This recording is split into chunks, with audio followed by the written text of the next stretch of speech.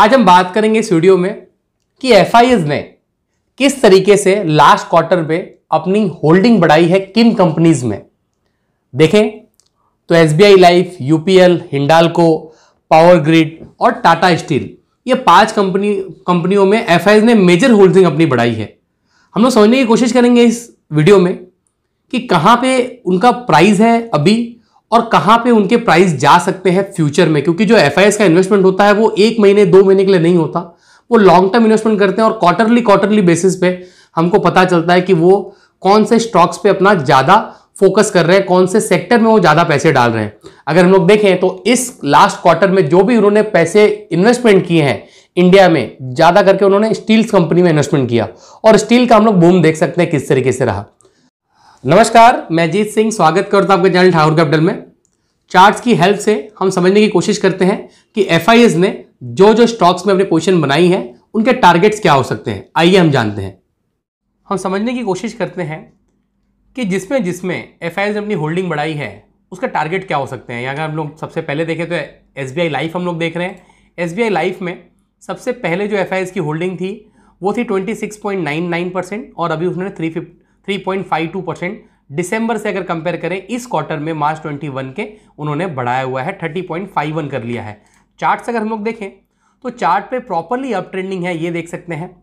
Monthly chart पे weekly chart पे properly up trending है, ये देख सकते हैं। यहाँ से एक हायर लो हायर हाइज बनाता हुआ प्रॉपरली एस एस लाइफ का चार्ट जा रहा है। अगर डेली कैंडल पे देखें तो डेली कैंडल पे एक थोड़ा सा एक सपोर्ट जोन में ट्रेड कर रहा है। यहाँ पे हम लोग चेक कर सकते हैं।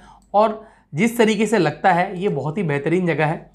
बाइंग करने के लिए stocks as a retail investor तो सबसे पहला टारगेट है वो एक हज़ार पचास का है, मगर हम लोग लॉन्ग टर्म के हिसाब से देखें, अगर एक साल की टारगेट की अगर हम लोग बात करें, सही से कि एक साल में हम लोग क्या हो सकता है, अगर हम लोग बड़ी टाइम फ्रेम में देखें, बड़े टाइम फ्रेम में हम लोग समझने की कोशिश करेंगे कि चार्ट्स पे कि एक साल में इसका प्राइस क्या हो सकता है तो हम लोग एक साल में इसका प्राइस थर्टीन हंड्रेड तक देखने की थर्टीन हंड्रेड थर्टीन फिफ्टी तक देख सकते हैं, तेरह सौ पचास रुपये तक ये जा सकता है।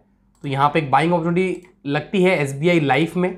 हम लोग कभी और डिस्कस करेंगे कि उसका परफॉर्मेंस क्या रहा आने वाले आगे। उसके बाद अगर देखें तो United Phosphorus Limited UPL UPL में भी एफ़ ने अपनी इन्वेस्टमेंट बढ़ाई है। अगर कंपेयर करें और यूपीएल के शेयर्स हम लोग देख सकते हैं यूपीएल निफ्टी 50 का शेयर है 0.63 परसेंट का वेटेज रखता है निफ्टी 50 में। मंथली बेसिस पे देखें तो बहुत ही शानदार चार्ट कंटिन्यू अप ट्रेंडिंग बढ़ रहा है। अगर हम लोग शेयर होल्डिंग पैटर्न की बात करें कि क्या चेंज हुआ है तो ये देख सकते हैं कि इसके पहले वाले क्वार्टर में एफ़ का जो इन्वेस्टमेंट है वो thirty five point three five percent का था, अभी ये thirty seven point eight three percent हो गया है। यूपीएल ने अपने डेप्ट को भी कम किया है, बाद में प्रमोटर ने जो प्लेज रखी थी अपनी होल्डिंग उसको भी फ्री की है। बहुत सी चीज़ें यूपीएल में देखने के लिए हमको मिला है।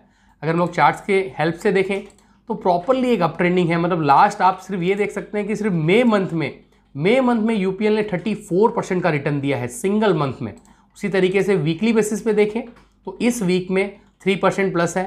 लास्ट वीक में फोर परसेंट प्लस था। प्रॉपरली अप ट्रेंडिंग है, ये देख सकते हैं लाइफ टाइम हाई से भी ऊपर ट्रेड कर रहा है यूपीएल का शेयर लाइफ टाइम हाई ये देख सकते हैं, इसके पहले था वो 709 और अभी वो 837 पे आज भी अप साइड में ही क्लोजिंग दी है। अगर हम लोग लॉन्ग टर्म के हिसाब से एक टारगेट की बात करें कि कम से कम एक साल में क्या टारगेट हो सकता है यहाँ पे हम लोग ये चेक कर सकते हैं यूपीएल के शेयर्स में कि ये हमको एक हज़ार तक होता हुआ दिख रहा है।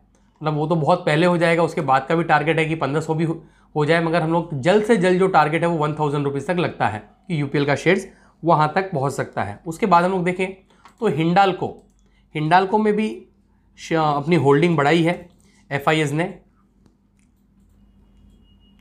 वो भी वो भी वो भी हम लोग चेक कर सकते हैं। कि हिंडालको में एफ़ ने जो अपनी होल्डिंग बढ़ाई है, पहले वो कितना था और अभी वो कितना है?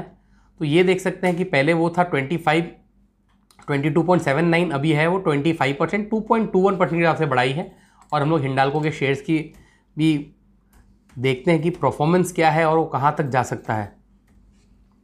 हिंडालको के हम लोग शेयर्स की बात करें, हिंडालको इंडस्ट्री यहाँ पे अगर अभी हम लोग चेक करें तो थ्री नाइन्टी एट रुपीज़ का भाव हमको हमको देखने के लिए मिल रहा है हिंडालको का। और ये भी लाइफ टाइम हाई के ऊपर ट्रेड कर रहा है और पूरे टारगेट अचीव करता हुआ जा चुका है, ऐसा मुझे लगता है।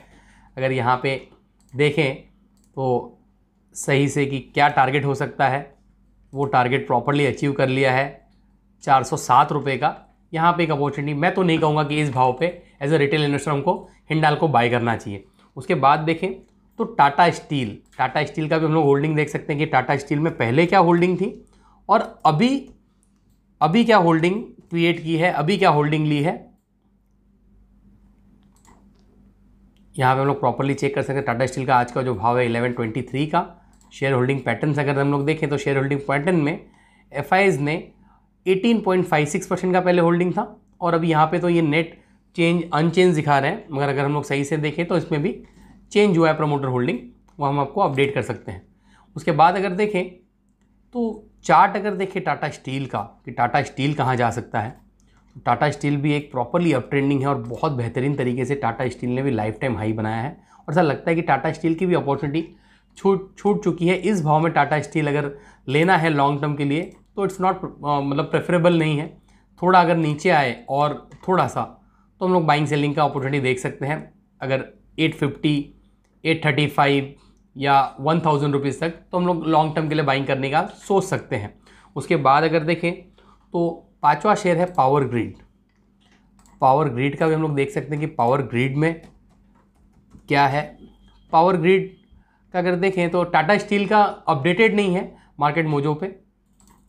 जो भी एफ़ की होल्डिंग बड़ी है पावर ग्रिड में अगर देखें तो पावर ग्रिड का जो होल्डिंग है, वो बड़ा है 1.65 परसेंट से पहले था ये two two six seven four अभी है टू एट थ्री फोर।